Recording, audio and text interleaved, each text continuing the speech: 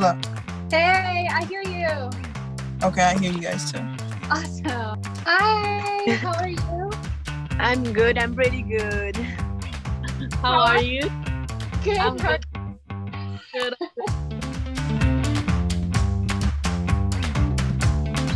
I'm Daniella Rosas. I'm 18 years old. I'm a professional surfer from Peru. Well, my name is P. Uh, Passon.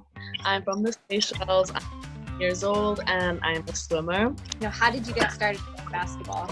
So I started playing basketball when I was four years old. I love just the competitive spirit of it all. Uh, I love competing. Everything I do, I compete with. It, it could be board games, a video game, anything. I got into swimming really when I was about like 12, 13. That's when I started to compete and I started to train like quite seriously.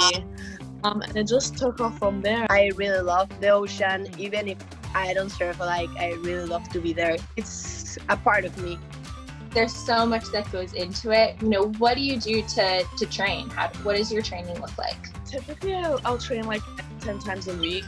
Um, so I'll do, I'll swim every afternoon and uh, four mornings, Monday, Wednesdays, Friday, Saturdays.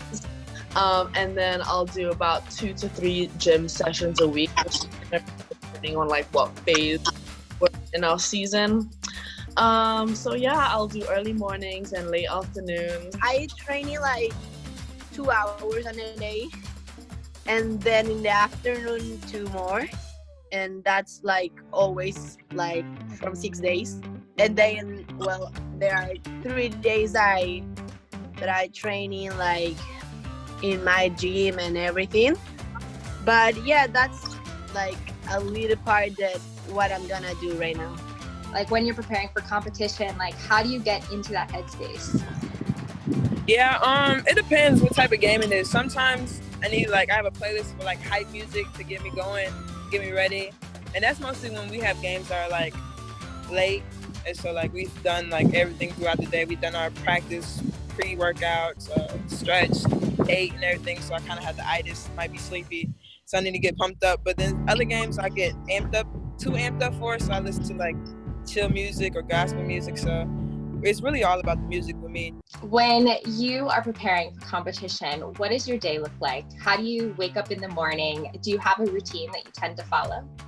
Yes, I follow it to the T because I'm so superstitious. If you know I miss one thing, like my whole day is gonna mess up.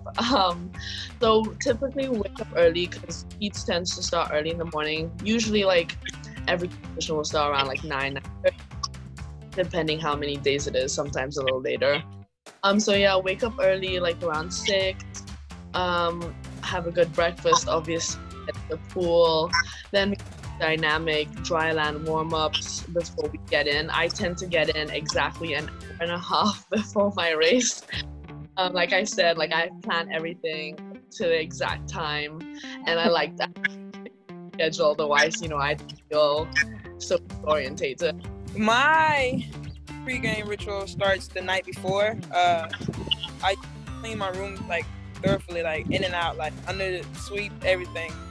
I kind of just do that so like to pass the time of the night because I really like I'd be anxious for the game, so I like try to occupy myself. So like by the time I'm done and take a shower, it'd be time to go to sleep. So I do that.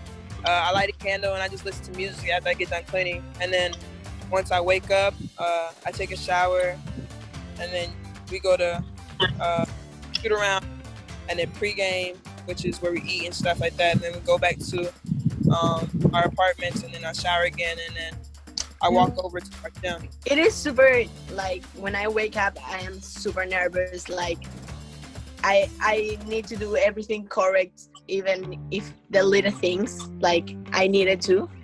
And yeah, like we are always staying together with my friends, so the house is always so nervous and so we have so much Angeli around. So yeah, it's like I don't know, we have a lot of feelings inside and even more because we are Latinas and we like exaggerated everything. But yeah, like it's it's pretty difficult, but at the same time, you know, you feel alive. I feel like I, I really need those nervous and Angeli and everything like the little things that scare me. So I really need it to be a, to feel that I'm that competition and I really need to perform good. So yeah, I it's it's different to a normal day, but I, I really like it. You talk about getting having routine and preparing for competition. Is there something that you think is lucky or really special to you that you like to bring in bring with you in competition? This necklace actually is my favorite necklace out of all. Uh, I usually wear this the entire time. Like I wear this every time in practice. We're not even supposed to wear jewelry, jewelry but I wear this in practice. Uh, the only time I'm not wearing it is unfortunately in the game. I wish I could, but yeah, in the game. Okay, so wait.